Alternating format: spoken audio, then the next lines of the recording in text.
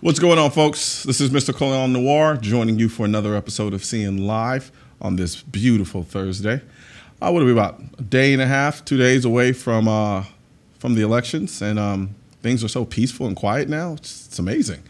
uh, with that being said, joining me live today is going to be Bob Owens from Bearing Arms. What's going on, Bob? How's it going? I'm doing good, doing good. You know, I'm just enjoying the peace and quiet that is the after elections and, you know, just enjoying life for the most part. Yeah, you know, th- th- there's nothing wrong with a few crackling bonfires in urban areas and things like that, just to kind of let you chill out a little bit. Yeah, yeah, yeah. I love warm fires and marshmallows and toasties and all that other good stuff. But no, um, so I kind of want to talk about uh, a perspective that a lot of people don't really have, um, and, I, and, I, think that's the kind of uh, the journalistic side of the gun world um, in many ways, I think it, it doesn't get enough attention in a lot of ways because I, I frequent your blog pretty often, um, along with others, and you know, you guys generally do a really good job of keeping basically people informed with information that they usually wouldn't get from other places. It's it's it's really hard to get a lot of pro gun info even on the internet for, for all intents and purposes. Um, and I feel for people who don't even aren't even aware of a lot of the blogs that are out there um, and are trying to find this information. So, what, what, when you set out to start your blog, what was your overall goal? Well, what was fun about Bearing Arms is it wasn't mine to begin with. Gotcha. Bearing Arms is, is, is part of the whole town hall media empire. Mm. And so, what they needed is a couple of years back, they were looking for somebody to run it. They were kind of trying to keep the job description on the down low.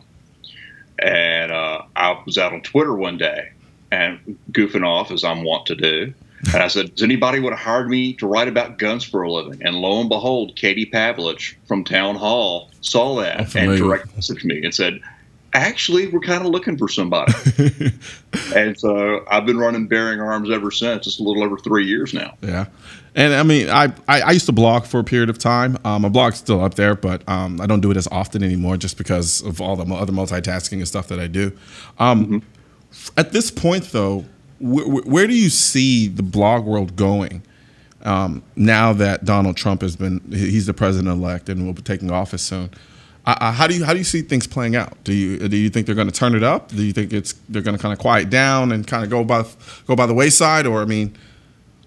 Well, I, I think you're going to see a couple of different things. You know, depending on whether you're looking at the pro-gun or anti-gun perspective. Mm-hmm. Um, pro-gun blogs in general seem to be going to be more organized, uh, slight. I won't say corporate necessarily. Yeah. Uh, but but they're being recognized as viable forms of, of media, and so people are pumping a lot more money into them to, to, to making them, um, you know, a little slicker, having more content, having various outlets. Uh, you know, they may even have guys on, on TV shows from time to time. uh, and so, you know, th- there's a lot of that going on. Uh, on the opposite side, you know, we do have Bloomberg putting stuff up like the Trace, mm-hmm. Uh, which is his anti-gun website, uh, run by a mobster's daughter, which is kind of interesting in its own right. Um, and so we've got all sorts of different things going on as you know we're what a day and a half in yeah. to Trump being president elect now. And it's, it's kind of hard to see where it's going to go just yet. You know, the dust is hardly settled, and mm-hmm. you know there's still people out there like Lady Gaga who are trying to contest the election. Uh, Lady Gaga can't figure out if she's even a human, much less. I, I, I, just, I yeah. just don't understand a lot of that. Um, but yeah, no, I mean, I think, I think in many ways, like I, I remember, I, I feel like I lucked up a little bit because when I kind of started on my path, um, there was already a wealth of information out there. Um, there were a lot of blogs out there that I could kind of pull resources from, and for me, that was that was invaluable. Um, and and I know now, like you said before, now it's just kind of, in many ways, kind of taken off and it become its own media outlet in itself. Mm-hmm. Uh, and I, I, think that's incredible because you know there's so much misinformation out there about firearms in general, and then there's so many new people coming into the sport, coming into the culture, who want to know as much as possible about guns. And actually, I mean, I got I get messages quite quite often like, where can I go to learn about this? Where can I go to figure this out or get the information on this, so forth and so on. So I, I think it's pretty awesome that we now have those options that we have now. Yeah, and, and we're seeing a lot of that, and that's actually, you know, I'm seeing a lot of the same things you are, and it's shaping the way we cover news. Yeah. Uh, when we first started, or when I first started at Bearing Arms, it was, you know, here's a gun story. We're going to pretty much just reprint AP copy type stuff. and, and, now, you know, you, you go out, you do the research, you go and do the training like you do, mm-hmm. and you get more education so that you can turn around and, and, and, and tell people, look, if you're going to get a gun, you know, you also need to get the education on how to use that firearm safety, you know, what kind of context you can use it in uh, especially when we're talking about self defense. Yeah. And, and so we try to do as much education as we do re- reporting as much as we can. A lot of times we'll have a news story where we will start out and just kind of give you the straight facts and then try to give some context to it to try to inform our readers. Gotcha, gotcha. Now let's let's talk about this election.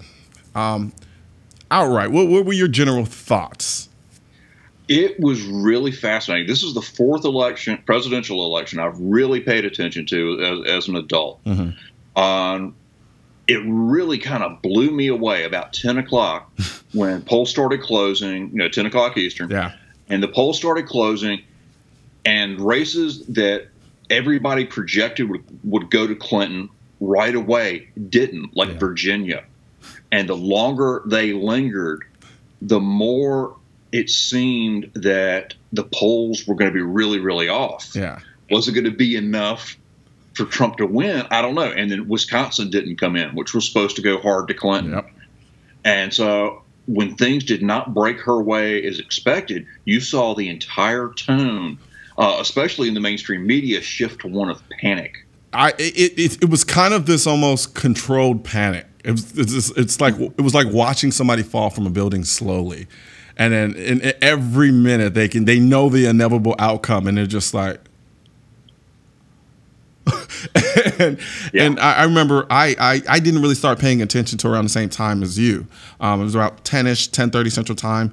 Um, mm-hmm. And to be honest with you, like I, I just considered even when I saw things were going in his way, I thought, okay, when the other states start coming in, it'll, you know, the numbers will start to flip flop and change up a little bit. And I was actually thrown aback because they were, they were so somber and calm and mm-hmm. when I was watching, when I flipped back to like CNN, that I, I was like, okay, maybe they know something we don't. Because right right now, you guys spent the entire election telling us how there's no way in hell Donald Trump is going to win this. Yeah, yeah. Right now, I'm looking at the numbers and it's telling a different story. And you guys are there like deer in headlights. And I'm like, I don't know if that's panic or just absolute uh, confidence. But as you said, as the numbers started to continue to trickle in, then you started to see the eyes get bigger and bigger and bigger, and then they started crying. Yeah, absolutely. Because you know, I think it was probably midnight around here once we started realizing that this was not Hillary's race to win, but it was Trump's race race to lose. Yeah. And once that started happening, you know, and we're we're plugged, you know, being part of town hall political stuff, we're pretty plugged in over here, and so we're watching this and we're like, oh my goodness, he's going to really, he's got real good shot at pulling this off. And then, you know, once we saw Virginia, he barely pulled Virginia. Yeah. Uh, when Florida went red, when North Carolina went red, we realized, oh my goodness, he's going to pull this out. He's actually got this. And from then on, it was just a full on four alarm fire for CNN and MSNBC. And it was glorious to watch this on Twitter as it went down. And it was like, he was watching the two sides. There was this kind of like calm somberness in one on one end, and then on the other side, there was almost like this contained excitement. We're kind of like, I don't, wanna, I don't want to get too happy here, but no, it was. I hate to say it, but it was truly epically entertaining. It, it, it was. I mean, it was. You're you're you're watching people who expected one thing, yep. all of a sudden end up in, in their own little version of the Truman Show, and you know suddenly they become the entertainment. Yeah, you're so, so right. I, yeah, I, I had a blast. Yeah, I I I. I couldn't help it. And then I went off to a bar somewhere to finish watching it. And then all the people there, largely, considering I was in Dallas, which is weird, most of them were like, oh my God, like this is, I can't believe this. Like, you know, hands on head, you know, they're already inebriated. So that was another issue. Um, yeah. but no, it was, it was very, very entertaining to watch. Um, we're going to take a quick break, but uh, when we come back, I kind of want to talk about some of the uh, priorities that you see as uh, the community, the, the gun community is concerned, what we should be focused on now. So we'll be back.